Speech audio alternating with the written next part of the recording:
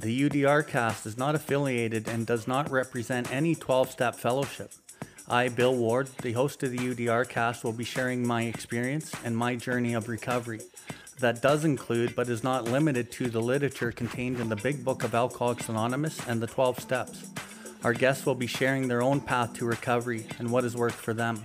The UDR cast encourages and supports all paths to recovery.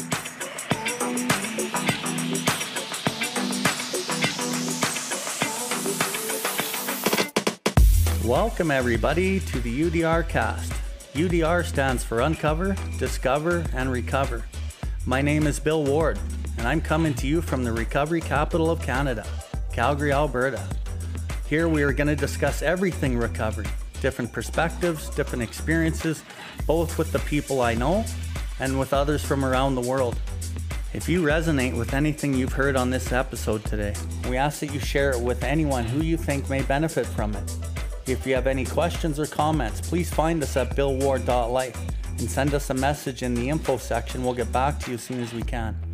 If you are interested in more recovery content, you can find the buttons for the YouTube channel and other social media outlets on the homepage, and you will be redirected to those platforms. We can recover, one person, one family, one community at a time.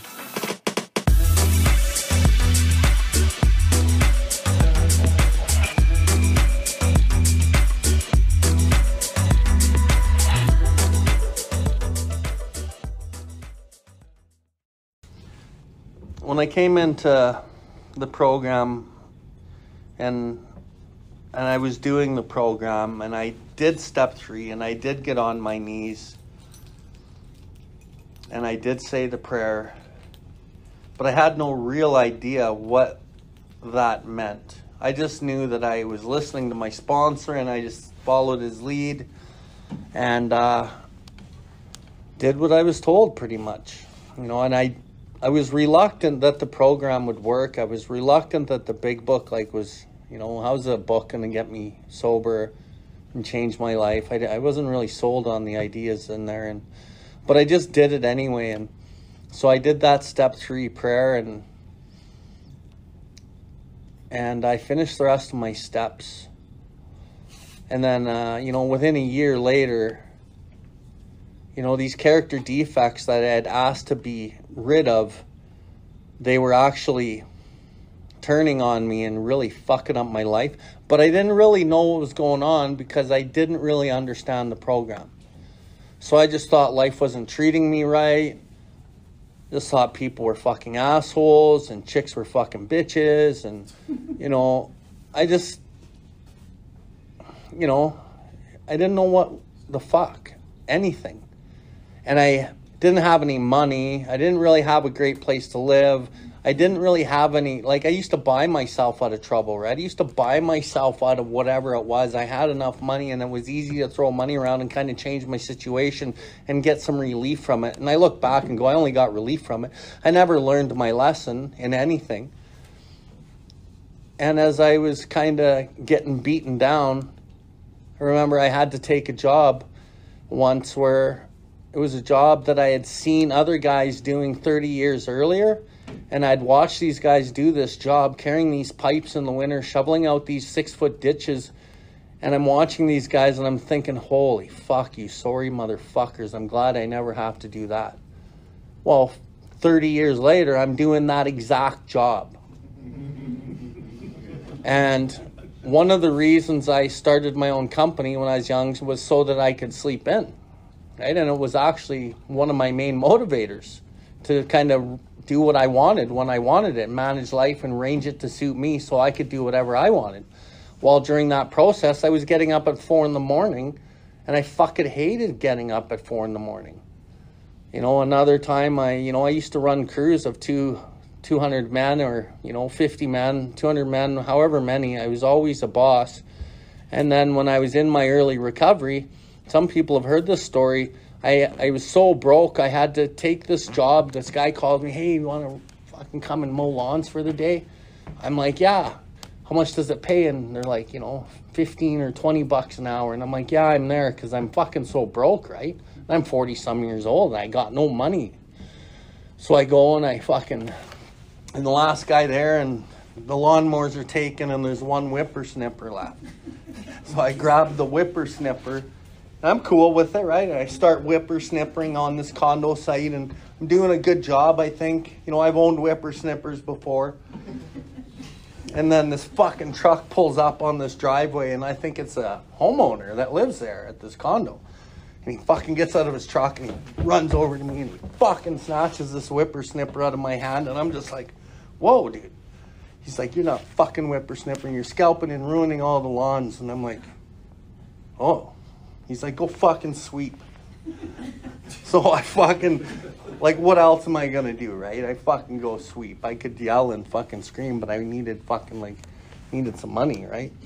So I go and I sweep, and I'm just like feeling the humiliation.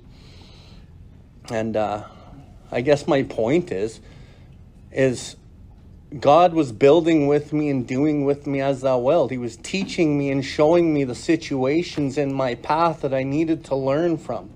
And if I navigated those lessons properly, I could advance to the next level. It's kind of like a game, right?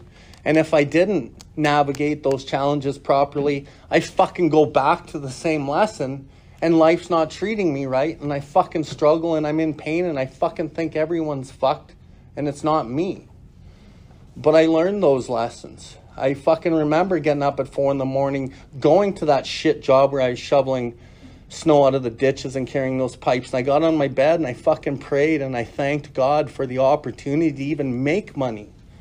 And when I got paid from that job, I didn't even make enough fucking money to pay my bills.